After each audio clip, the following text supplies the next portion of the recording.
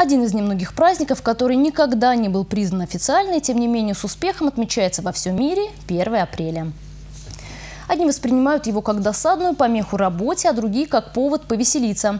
Как относятся к первоапрельским розыгрышам чебоксарцы, а также те, кто шутить обязан в силу профессии. В следующем сюжете. Согласно статистике, в День дурака примерно 70% людей готовят розыгрыши для кого-либо из своих знакомых. Мы вышли на улицы нашего города и спросили у чебоксарцев, любят ли они шутить и как они разыгрывают своих родных и близких. Ой, меня сын обманула сегодня. А он говорит, выходи-ка подъезд, говорит, я кое-что тебе привезу, говорит. Я вышла, жду, жду минут 10, ждала, его нету. Потом звоню, а он мне говорит, мам, сегодня 1 апрель. Спрятал зубную щетку, поставил пустой тюбик. А вот как раз разыграли. А как? Что а вот смс-ку прислали, как будто счет пополнили на полторы тысячи. У тебя спина белая. Она повернулась и даже платье сняла. Моя подружка из другого класса. Я говорила, что у, у кого-то на блузке пятно. Поверили? Ага. На самом деле вы первые, которые мне сегодня напомнили о том, что сегодня 1 апреля. С праздником вас. Нет, не разыгрываю. Ой, скорее всего, нет. Потому что мы не умеем разыгрывать. А вас кто-нибудь разыгрывал? Сегодня нет. Участники клуба веселых и находчивых 1 апреля своей профессиональной даты не признают. День КВН все-таки 8 ноября. Юмористы считают, что праздник, он всегда с тобой, какое бы число апреля ни было на дворе. К розыгрышам в этот день относятся по-разному. Одни КВНчики берегут свой профессиональный пыл для показательных выступлений. Другие не упускают возможности пошутить над своими близкими. Шутить над друзьями люблю. Вот сегодня обзвонил человек пять, а всех собрал на свои проводы вечером.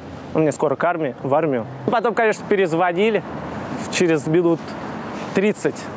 То есть все, 1 апреля же, как так? И все.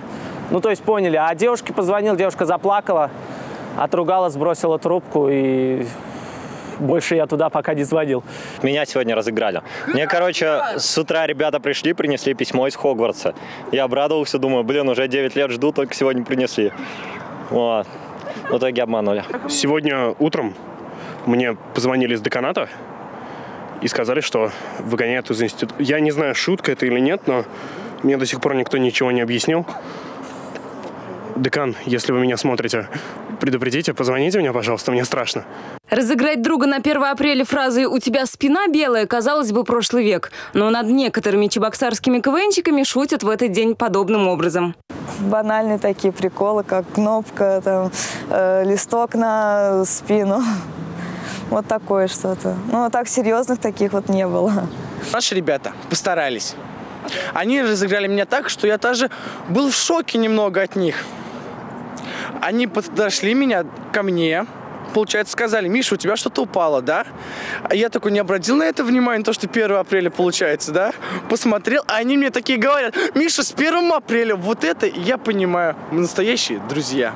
Тем временем социологи Левада-центра провели исследование и выяснили, первоапрельские приколисты в основном студенты, домохозяйки, а также руководители. Оказалось также, что мужчины более склонны к шуткам и розыгрышам, чем женщины. А смеяться одинаково полезно всем вне зависимости от пола, возраста и статуса. Оксана Заметина, Антон Вовк, Республика.